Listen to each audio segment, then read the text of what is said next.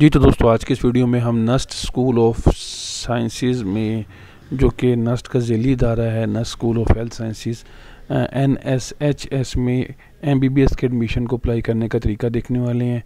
ये इस्लामाबाद में इसका कैंपस है और इसके लिए जो है रजिस्ट्रेशन जो थी इसकी थर्टी ऑफ़ नवंबर को स्टार्ट हुई थी और ट्वेंटी नाइन्थ ऑफ़ दिसंबर को इसकी लास्ट डेट है।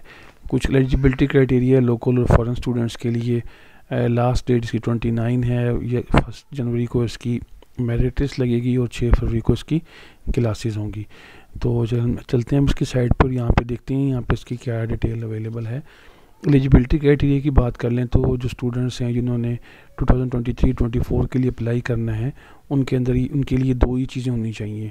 उनके मैट्रिक और एसएससी में सिक्सटी परसेंट मार्क्स होने चाहिए। और इसके अलावा उन्होंने नम्स, यानी कि national university of medical sciences वाला एम डी कैट का टेस्ट क्लियर किया हो, उसका 55 परसेंट मार्क्स होने चाहिए।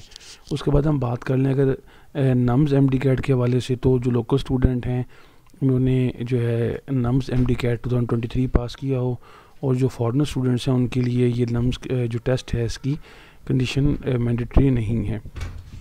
अगर हम मैट्रिक और इंटरमीडिएट यानी कि एफएससी की बात कर लेते हैं तो लोकल स्टूडेंट के लिए जो है आपकी एफ़ एस सी हो और सिक्सटी परसेंट या से ज़्यादा मार्क्स हों केमिस्ट्री बायोलॉजी लाजमी नहीं चाहिए और फिज़िक्स हो या मैथ हो।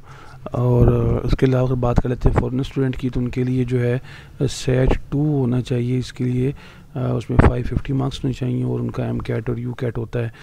तो अमूमन मोस्टली हम जो लोकल स्टूडेंट्स के लिए देखते हैं तो इस वजह से हम ज़्यादा फोकस जो है वो लोकल स्टूडेंट्स पे कर रहे हैं। यहाँ पे एक बात है याद रखिएगा कि जो अगर जिन लोगों ने एम डी का टू थाउज़ेंड दिया हुआ है, और उसके रिज़ल्ट की बेस पे ही वो यहाँ पे अप्लाई कर सकते हैं। तो अप्लाई करने का प्रोसीजर पे देखते हैं। हम सबसे पहले हमने इस साइट पर विज़िट करना है। यहाँ पर हमने डिटेल देनी है। डिटेल देने के बाद हमें वाउचर मिलेगा वाउचर की फ़ी पे कर देनी है, उसके बाद वेरिफिकेशन होगी और हमें इसकी डिटेल मिल जाएगी। तो जैसे हम इसके लिंक पे क्लिक करते हैं तो हमारे पास ऐसा पोर्टल ओपन हो जाता है। इस पोर्टल पे अब हमने क्या करना है? लॉगिन करना है। डेफिनेटली बात है, हमारा पहले अकाउंट नहीं बना हुआ तो हम यहाँ पर न्यू रजिस्ट्रेशन पर क्लिक करेंगे। हम न्यू रजिस्ट्रेशन पर क्लिक करने के बाद यहाँ पे एक डमी डिटेल देंगे अपनी, और इसके अलावा हम यहाँ पर फादर की डिटेल देंगे। और फादर की डिटेल देने के बाद हम जो है, यहाँ पे अपना ईमेल आईडी दे देंगे। ईमेल आईडी से ये हो जाएगा कि हमें जो वेरिफिकेशन आनी है ना, वो इसी ईमेल आईडी पे आ जाएगी। तो जैसे हम इस पर अपना ईमेल आईडी देकर साइन अप करते हैं तो हमें मैसेज आ जाता है कि आप रजिस्टर हो चुके हैं और आपको जो है वो इनबॉक्स में डिटेल जो है वो आपकी आ चुकी है, जहाँ से आप इसको देख के लॉगिन कर सकते हैं। जी तो हम यहाँ पे जो है इसको देख के लॉगिन करेंगे। तो जैसे हम इस लिंक पे जाते हैं ईमेल पे जाते हैं इसके बाद हम जीमेल देखते हैं तो यहाँ पे हमारे पास होपफुली वो ईमेल आई हुई होगी जिसमें हमारे पास हमारे क्रेडेंशियल दिया गया होगा। हाँ, यानी कि हमारी पूरी डिटेल वहाँ पे यूज़र नेम पासवर्ड के साथ मेंशन की हुई होगी। जी तो यहाँ पे आप देख सकते हैं हमारे पास नस्ट की तरफ़ से जो ये डिटेल आ चुकी है हम इस पर क्लिक करते हैं। ये मेल हमारी ओपन हो जाएगी। जैसे हमारी ई ओपन होती है इसमें हमें बताया हुआ है कि आप का जो है रजिस्ट्रेशन नंबर ये है यूज़र नेम ये है और पासवर्ड आपका ये है। तो अब आपने क्या करना है? You are now required to complete registration और रजिस्ट्रेशन कैसे होगी? वो आपकी इस पर हम क्लिक कर देते हैं। जैसे हम इस पर क्लिक करते हैं, हमारे पास ये पेज ओपन हो जाएगा। जैसे पेज ओपन होगा तो यहाँ पे हम यूज़र नेम और पासवर्ड दे के अपनी डिटेल यहाँ पे पुट कर लेंगे। जी, अब हम यूज़र नेम देते हैं। हम यूज़र नेम हमारा ये है, ये हमारा यूज़र नेम है। इसको कॉपी करके हम यहाँ पे पेस्ट कर देते हैं। उसके बाद अब हमने जाना है अपने पासवर्ड की तरफ़। हम पासवर्ड को यहाँ से कॉपी करते हैं कॉपी करने के बाद हम यहाँ पे इसको पेस्ट कर देते हैं। अब हम लॉगिन पे क्लिक कर लेते हैं। अब जैसे हमने लॉगिन पे क्लिक किया है तो ये हमें उसके मेन पेज पे ले आया और यहाँ पे अब हम देखने वाले हैं कि क्या हमें इसको डिटेल को देख के चलना है। रजिस्ट्रेशन जो है वो कहता है आपकी कंप्लीट हो चुकी है एप्लीकेशन फॉर्म आपने फिल नहीं किया फ़ी इनवाइस अभी इशू नहीं हुई और आपने फ़ी की वेरिफिकेशन भी नहीं की हुई तो यहाँ पे अब हमने क्या करना है, सबसे पहले हम इंपॉर्टेंट इंस्ट्रक्शन पे क्लिक करके इसको पढ़ लेते हैं, ताकि हमें इसकी डिटेल पता हो कि इंपॉर्टेंट इंस्ट्रक्शंस क्या हैं हमारे लिए। चलिए जी, हम इसको इंपॉर्टेंट इंस्ट्रक्शन पे क्लिक करते हैं। यहाँ पे वही चीज़ जो हमने पहले डिस्कस की थी, ये वही चीज़ आ गई है। Complete and each and everything वही चीज़ है। इसमें जो कुछ इजाफा है, ये तो हम पहले डिस्कस कर चुके हैं एलिजिबिलिटी क्राइटेरिया को लेकिन बाकी टेन परसेंट मैट्रिक के फोर्टी परसेंट एफ़ और फिफ्टी परसेंट जो आपके एम डी कैट का जनरल क्राइटेरिया है। अब हम बात कर लेते हैं ऑनलाइन एप्लीकेशन फॉर्म को फिल करने की। तो आपने नेम की करेक्ट स्पेलिंग करनी है जो कि मैट्रिक एफ़ एस के रिज़ल्ट कार्ड पे थी। आपने सी एन ए सी नाई को बेफार्म जो है, उसको विदाउट डैशेज पुट करना है। आपने जो अपनी रिसेंट पासपोर्ट साइज़ पिक्चर्स जिसका बैकग्राउंड ब्लू हो या वाइट हो, उसको अपलोड करना है। पीएनजी गिफ या जेपीजी जेपीजी फॉर्मेट को एक्सेप्ट करेगा और मैक्सिमम 250 के बी एक्सेप्ट करेगा। एप्लीकेशन जो प्रोसेसिंग फ़ीस है, वो आपकी एलिजिबिलिटी और नेशनलिटी पे जो है, वो कैलकुलेट होकर आपको मिलेगी। अगर आपने कोई डिसेबिलिटी तो आपको डिसेबिलिटी सर्टिफिकेट देना होगा। अगर हम पेरेंट्स की इन्फॉर्मेशन की से बात कर लें तो आपको फदर मदर के स्पेलिंग देने होंगे। फदर मदर के जो है सी एन सी नंबर देना होगा। उसके अलावा जो है, बाकी जो भी डिटेल है इनकम वगैरह के हवाले से वो भी देनी होगी। इसके बाद हमें अपना वैलिड पोस्टल एड्रेस देना होता है जिस पर हमें मेल मिल सकें और एक्टिव कॉन्टैक्ट नंबर देना होता है। उसके अलावा हम कोई भी फैमिली की मालूम भी दे सकते हैं। और क्वालिफ़िकेशन एलिजिबिलिटी क्या है कि आपकी एच एस सी सीन के आपकी एफ़ एस सी हो, चाहे वो लोकल हो, चाहे वो अब्रॉड से हो।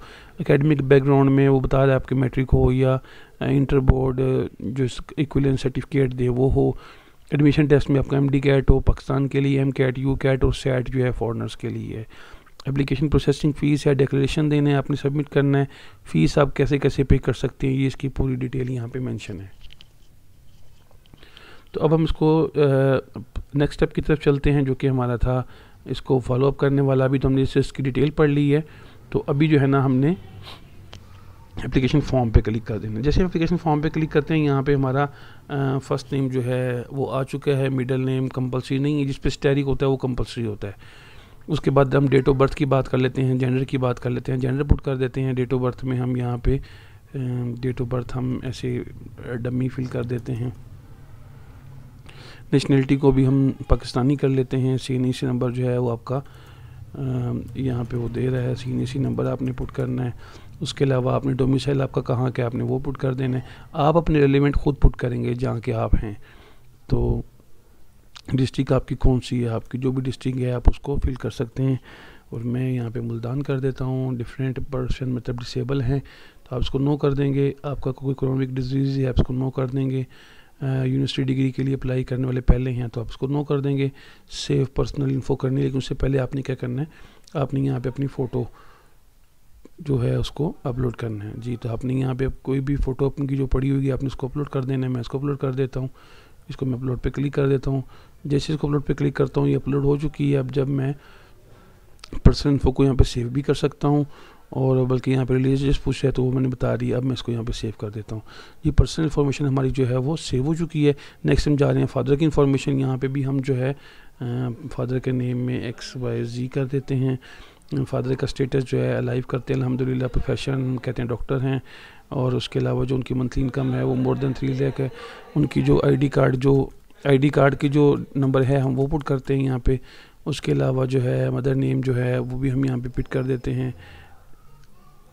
ठीक है, इसके अलावा मदर का स्टेटस अलहमदिल्ला लाइव हैं प्रोफेशन क्या है लायर हैं, उसके अलावा monthly income more than three lakh है। तो ये बाकी डिटेल हमारी यहाँ पे आ चुकी है। रेजिडेंस हम कह लेते हैं जी ऑन रेजिडेंस है परमानेंट एड्रेस को हम सेम एज अबव कर देते हैं। अब हम मोबाइल नंबर की बात कर लें तो हमें अपने मोबाइल नंबर जो देना होता है, वो अपना मोबाइल नंबर भी देना है और उसके साथ साथ हमें जो है वो अपने एक ऐसा एक्टिव नंबर भी देना है जो कि अवेलेबल हो फ़ोन कॉल के लिए। तो हम यहाँ इसको ऐसे अपना नंबर देते हैं लेकिन यहाँ पे किस, उसमें देना है, यहाँ पे आप देख सकते हैं प्लस नाइन टू की फॉर्म में देना है। ठीक है? ये हमने प्लस नाइन टू की फॉर्म में नंबर दे दिया है। हमें गार्डियन का नंबर भी देना है, वो भी हम प्लस नाइन टू की फॉर्म में देते हैं। ठीक है, इसके बाद हम सेव फैमिली इन्फो कर देते हैं। जी आपकी फैमिली इन्फॉर्मेशन भी सेव हो चुकी है। नेक्स्ट अब हम करेंगे क्वालिफ़िकेशन क्वालिफ़िकेशन में अब हमने कहना है, बताना है कि हम इनसाइड द पाकिस्तान की हम उस पर क्लिक कर देते हैं। जैसे उस पर क्लिक करते हैं तो ये हमें फर्दर भी नेक्स्ट ले जाएगा। जी, उसके बाद हम एलिजिबल लोकल सीट के लिए तो लोकल सीट सेलेक्ट हो गया। जी, इसके बाद हम बात कर लेते हैं कि किस ईयर में हमने पास किया। लेट सपोज़ मैं कहता हूँ कि जी मैंने ये टू थाउज़ेंड और ट्वेंटी थ्री में पास किया है और उसके अलावा मेरे मार्क्स जो थे वो मेरे एट डबल सिक्स मार्क्स थे। इसके अलावा जो टोटल जो ऑप्टेन मार्क्स थे वो एट डबल सिक्स थे और जो टोटल मार्क्स थे वो अलेवन हंड्रेड थे। ठीक हो गया स्कूल नेम में यहाँ पे कर देता हूँ ए और बोर्ड में सेलेक्ट कर लेता हूँ। लेट सपोज़ में बाईस मुल्तान कर देता हूँ। चले मैं लाहौर बोर्ड कर देता हूँ। यहाँ पे भी मैं इसको हैदराबाद बोर्ड कर देता हूँ। कॉलेज नेम को मैं कर देता हूँ बी और जो मेरे मार्क्स थे जो वो मैं टू थाउज़ेंड ट्वेंटी वन में किया था, ये इसके टोटल मार्क्स थे मेरे एट फिफ्टी और मेरे जो थे, वो थे सिक्स सेवेंटी थ्री उसके अलावा जो है, अब मैं इसको यहाँ पे सेव कर देता हूँ, ये भी यहाँ पे सेव हो चुका है।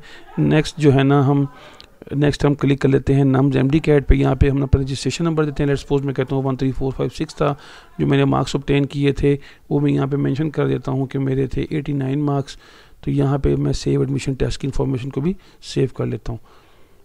ओके जी एम डी गाइड का कहता रोल नंबर आपका वैलिड नहीं है। चलिए आगे नेक्स्ट देखते हैं, इसको क्या करना है। ये टोटल एप्लीकेबल फ़ी आ गई टू थाउज़ेंड यहाँ पे जो है ना आपने क्लियरिफाई करना है, क्योंकि मेरा तो एम डी गाइड नहीं दिया हुआ, इसलिए रोल नंबर मैंने एग्जैक्ट नहीं लिखा हुआ। आप अपना जो है ना रोल नंबर लिखेंगे, लिखने के बाद सेव कर देंगे। सेव करने के बाद आपकी टू थाउज़ेंड फ़ीस आ चुकी है। आपने आई क्लीरिफाई करके सेव एंड नेक्स्ट करना है। जैसे आप सेव एंड नेक्स्ट करेंगे तो आपके पास चलान आ जाएगा, उस चलान को डाउनलोड करेंगे, डाउनलोड करने के बाद उसको पे कर देंगे। पे करने के बाद आप उसको अपलोड करेंगे तो वेरिफिकेशन हो जाएगी और आपका एडमिशन कन्फर्म हो जाएगा। तो दोस्तों, उम्मीद करता हूँ आपको मेरी वीडियो पसंद आई होगी। अगर आपको मेरी वीडियो पसंद आई है तो चैनल को यार सब्सक्राइब ज़रूर कीजिएगा। साथ लगे बेल आइकन को प्रेस कर दिए ताकि आपको आने वाली हर वीडियो को नोटिफिकेशन मिल सके। तो मिलते हैं अगली ऐसी इंटरेस्टिंग वीडियो के साथ। तब तक के लिए अल्लाह हाफिज़।